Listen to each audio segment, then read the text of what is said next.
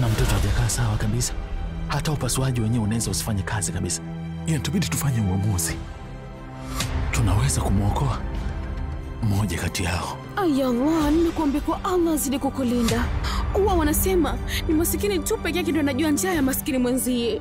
Na kuombea uolewe na upate mtoto mzuri kushinda hata mwanangu. Asante. Mola kubariki sana ya Rabu.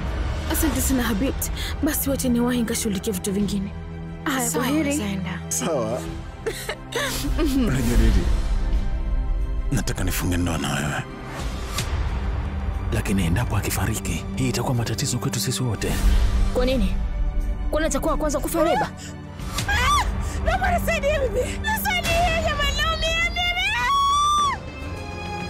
Sisters, Jumatatu mpaka Jumatano saa 12 dakika 45 jioni ndani ya Mambo Moto.